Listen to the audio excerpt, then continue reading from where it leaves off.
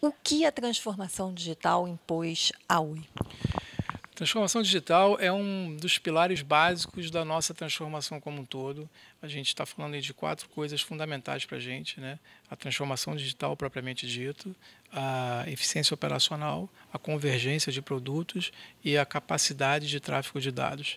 O digital para a gente, ou melhor dizendo, a transformação digital para a gente, é a base, é o meio para você conseguir proporcionar ao cliente uma nova experiência de uso, uma melhor experiência de uso, proporcionar a Oi uma melhor eficiência operacional, fazer com que a gente consiga fazer as coisas mais rápido, de melhor maneira, e com isso a gente cria um ciclo virtuoso, com mais experiência, melhor experiência para o cliente, melhor eficiência operacional, empresa mais sustentável, melhor disponibilidade, ou seja, esses quatro pilares rodando, fazendo com que a gente tenha um ciclo. Então, transformação digital é meio, é base. O mundo mudou, existem novas tecnologias, está tudo transformando. A gente precisa usar, estar na vanguarda dessas tecnologias para que a gente possa proporcionar ao nosso cliente uma melhor experiência. O próprio cliente tem uma vivência diferente. Antes ele estava preocupado com um telefone fixo que estava na casa dele. Hoje ele tem um telefone fixo, um modem ADSL, tem uma, é, vários aplicativos funcionando no smartphone dele, num, num tablet, uma televisão smart conectada. Tudo isso é, conectado ao mesmo tempo e permitindo para ele uma experiência de uso diferente. A gente tem que estar antenado e, e, ligado a isso, conectado a isso, de forma que a gente consiga utilizar o meio digital, a transformação digital, para proporcionar a esse cliente uma melhor experiência de uso. Do ponto de vista de operações, o quanto que a Oi já avançou nesse mundo digital? A gente vem trabalhando pesado e, muito focado nisso já há pelo menos uns dois, três anos. Tá?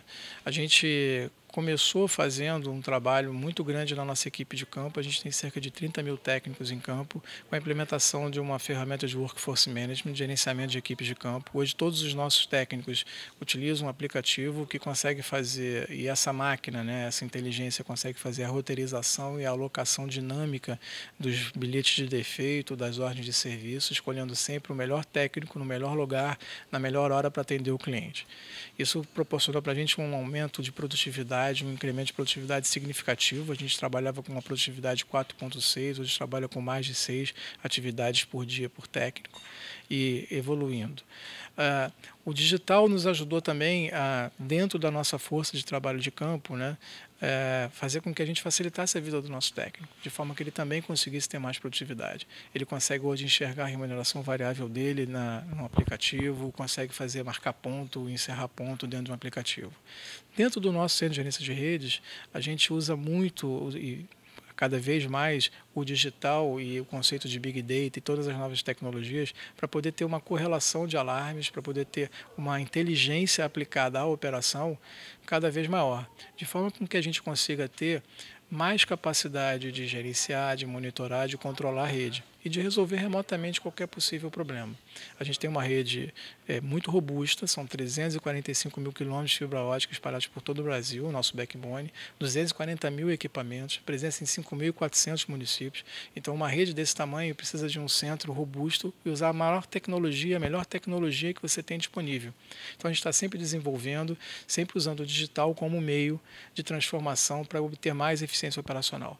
Na operação, o, o principal mote, os dois principais motes são eficiência operacional e melhor experiência do cliente. Tudo que a gente faz aqui, quer seja no centro de gerência de rede, quer seja na infraestrutura, quer seja no campo, é voltado para dar melhor experiência para o cliente e, obviamente, ter mais eficiência operacional.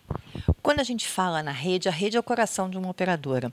É, já é possível hoje ser mais preditivo, você é, saber quando a falha vai acontecer do que ser reativo. Quer dizer, esse é um dos grandes problemas das, eh, de falhas né, no atendimento ao cliente. Como é que é o uso do Big Data para resolver essa questão?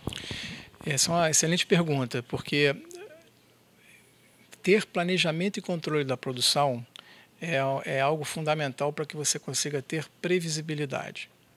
O Big Data nos permite, né, o conceito do Big Data nos permite é, ter mais correlação de alarmes, ter uma inteligência que consegue fazer, uh, nos permitir fazer as estatísticas que consegue, que a gente com, com isso consegue enxergar quais são os equipamentos que precisam de que tipo de atuação. Cada alarmezinho que gera na planta, cada atuação, cada conexão do equipamento com o nosso centro, com os sistemas de gerência, nos permite um, ter um aprendizado. Cada informação dessa é coletada, colocada numa grande biblioteca, e isso a gente correlaciona através do conceito de Big Data e faz com que a gente consiga ter inteligência. Então, determinado tipo de comportamento similar pode resultar em aplicações de vacinas a gente detecta um determinado tipo de equipamento, uma determinada tecnologia com um determinado tipo de problema, por exemplo, você pode fazer uma vacina.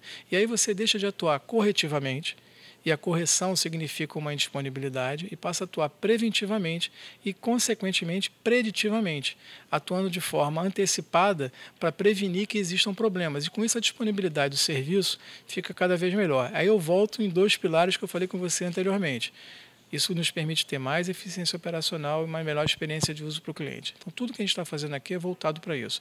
Big Data é uma grande ferramenta, e eu coloco Big Data dentro do conceito do digital, uma grande ferramenta que nos permite ter é, a gestão nos permite ter as ferramentas e, e os mecanismos para a gestão e o controle da rede necessário. A Oi e outras operadoras estão cada vez mais é, incrementando o uso dos aplicativos. É, aqui foram lançados o técnico virtual e a ativação digital, o técnico virtual dentro da, da minha Oi. É, como é que é o uso do aplicativo e quais são as funções desses, desses aplicativos? É, são dois campos diferentes. Né? O técnico virtual ele atua mais no campo do, do mercado residencial, numa casa de um cliente. Ele permite com que, com que o cliente resolva parte dos seus possíveis problemas de forma remota e autônoma. Isso nos dá mais agilidade e uma sensação para o cliente de melhor uso. Né? o modelo anterior, é, o cliente tem que ligar para um call center, falar com o call center, enfim, interagir com o atendente para tentar resolver um problema técnico, por exemplo. No aplicativo é, é, técnico virtual, ele consegue fazer testes e soluções de vários tipos de problema e com isso ele ganha agilidade e ganha tempo. Ele está disponível dentro do Minha Oi através de um link e também está na, na, na Apple Store e na Google Play para baixar.